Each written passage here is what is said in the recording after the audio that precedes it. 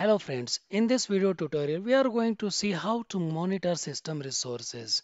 You see that your server has no value if it is not uh, running any service or any application.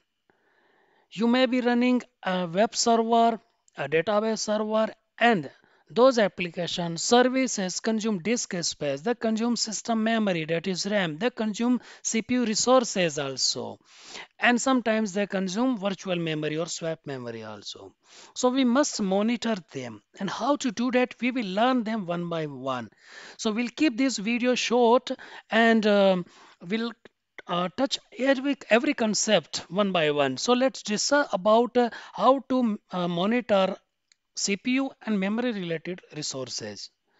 So you run top command. Type top top. It will show you a dashboard and this dashboard will show you what all activities are currently happening. So the process ID, the username running that process, what is the priority? This NI column shows nice value or priority value. Virtual memory used, resident memory used, shared memory used, CPU used as for status or state. This uh, particular process is in sleeping mode or running mode, etc. Memory uses that means RAM only RAM we are talking about for how long that process has been running and what the process or command name is look at the top line. It shows you that this particular system has been running up for the last 34 minutes and there is currently, currently only one user logged in. And the load average, the last one minute's load average is zero. That means this system is almost doing nothing. You see this CPU line here? It shows you a value of over 99% idle. No process is waiting for system resources. So this load average has three fields. The first field shows you the load average for the last one minute. The second field shows you the load average, the CPU consumption for the last five minutes. And the third field shows you the CPU resources activity, activities for the last 15 minutes so activities are shown by the top command, but you see the load average actually, okay, or the CPU load average. So load average means CPU load average or CPU system, CPU uh, resources being utilized. You need to see how many CPUs are there. This line shows you CPU or CPUs. It's a combination of all the CPUs or community uh, uses. So if I have two CPUs, I don't know how many CPUs I have. So I cannot depend on this load average value.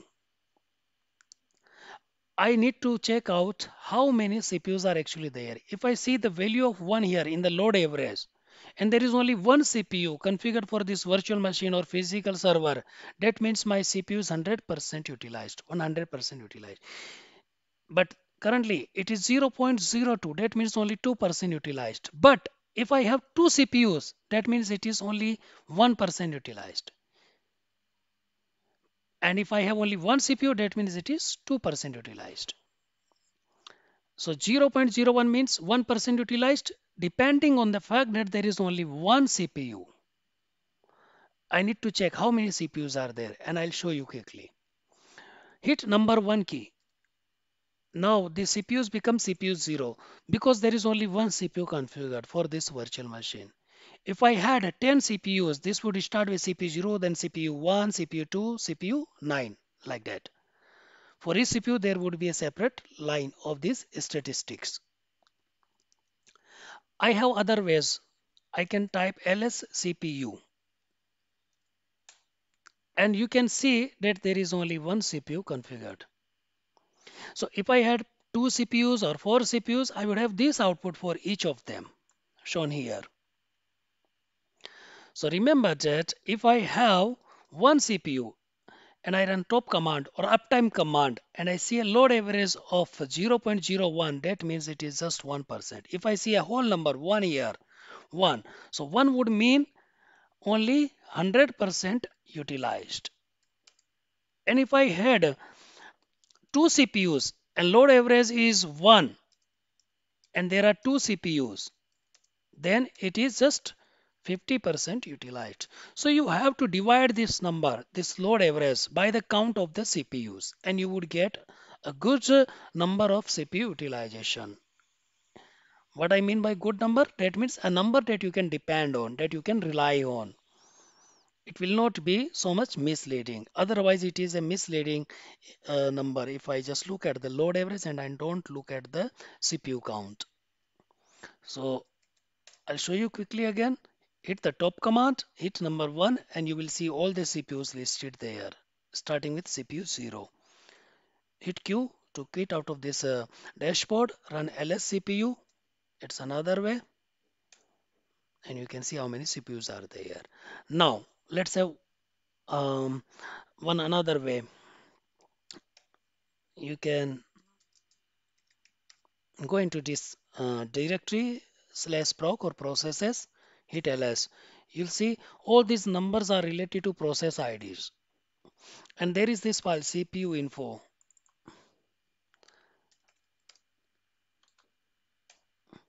You see processor number 0 and the details of that processor. It is same as we do with the lscpu, same output, almost same output. So let's run this command again.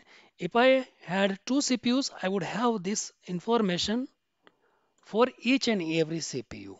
And my, uh, you know, counting starts with the zero. So processor zero means the first CPU.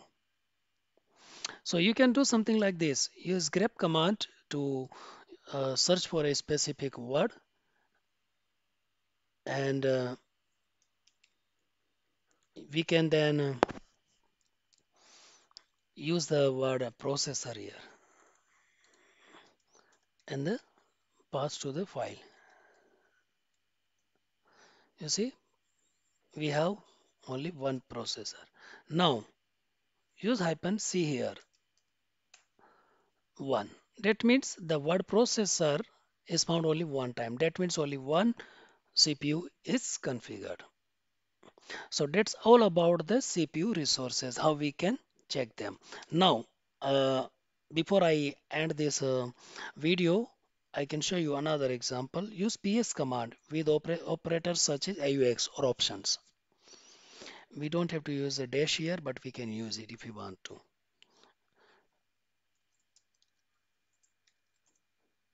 You see ps command or process statistics also show you who the user is running that particular process, what is the process ID, CPU utilization, memory utilization, etc. etc. and the command. So you have ps command, you have top command, and you have lscpu and we also covered uh, that uh, file CPU info file and we can run grep command or we can just look at the contents of this file.